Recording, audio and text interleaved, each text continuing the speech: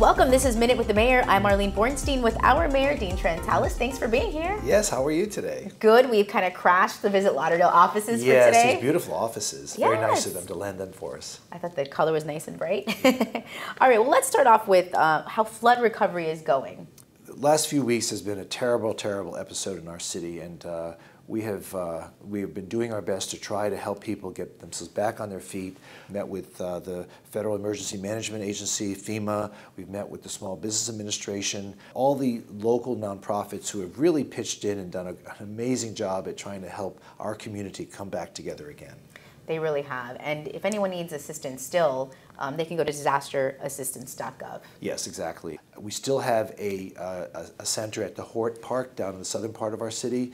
Uh, the FEMA has set up a, an office there with in-person staff where people can uh, still apply and to try to get themselves uh, some kind of rental reimbursement, uh, perhaps some furniture reimbursement. Uh, if you're rebuilding your walls because the, the water has uh, permeated into the into the walls, uh, all kinds of money is available either through them or the Small Business Administration. But the first line of attack, of course, is to go to your insurance company. Right. If you have insurance, then and then you need to go there first. If you don't have insurance, that's when the federal agencies come in. And that Hort Park location, the staff there is so nice. I've talked to all of Yeah. them. We've done little videos there, and it's really easy to get Yeah, help. it's easy. Just walk in, and uh, people are there to help. Absolutely. Something that we're getting a lot of media inquiries about and calls in general, this progress of City Hall, where you used to work. Right. yeah, so City Hall took a hit, uh, and uh, we're still assessing the damage and the cost of, of repairing, restoring. Uh, and I think that we, it was something we had planned to do anyway. The, uh, we had planned to move to a, a new site, and uh, we had planned to build a new City Hall because of our need to expand our services and to provide services under one roof instead of being spread around the city. This kind of forced our hand, and uh, so we're we're displaced right now. We're here at Visit Lauderdale doing our show. Thanks, Visit So, Lauderdale. Yes, exactly.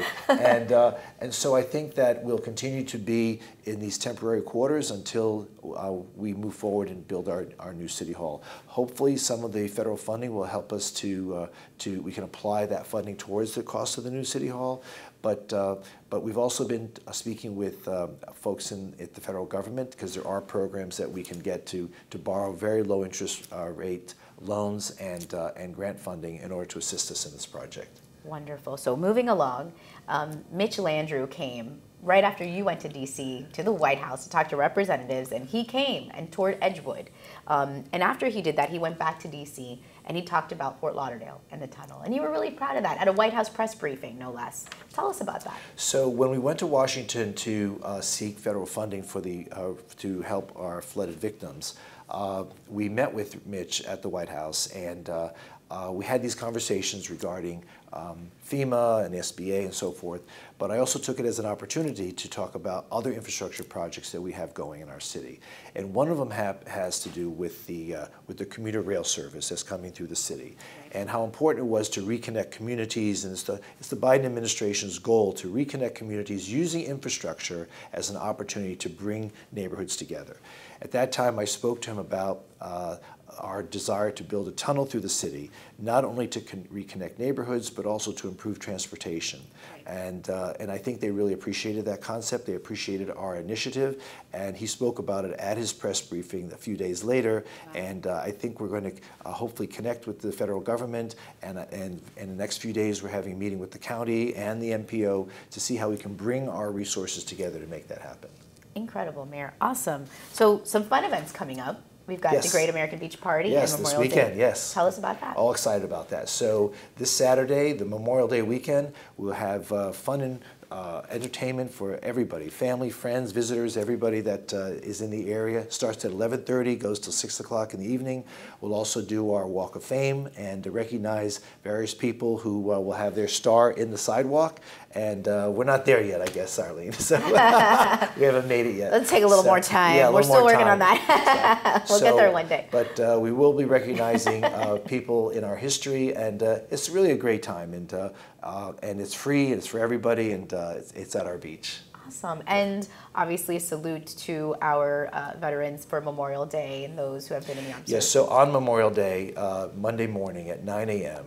at Lauderdale Memorial uh, Cemetery. We'll be having our annual recognition of Memorial Day and, and to recognize those folks who have uh, given the ultimate sacrifice to our, to our country. Also at um, 11 o'clock that same morning at the Sandy Nininger statue, uh, we'll, which is by the uh, Broward Performing Arts Center, we'll be having a, uh, a recognition of our fallen uh, dead in conjunction with the local American Legion organizations. Yes, and we certainly appreciate their sacrifices and everything they've done for our Absolutely. country and their families as well, of course. It's a fun-filled weekend, but on top of all that, we have USA Diving that's having Yes. their, their a huge event at our new aquatic center, and uh, very excited about that. There will be divers from all over the country coming to uh, test out our new facilities. They're all excited. We're all excited. We'll have hundreds of uh, folks here this coming weekend for that event, and uh, we're very, very happy to finally return to being the premier venue for swimming and diving competitions. This is the first time in the U.S. that a high diving World Cup has ever happened because of the Because dive we tower. have the dive tower, exactly, Yeah, yes. It's very cool. I can't wait. Yeah, we're very I'll happy about that.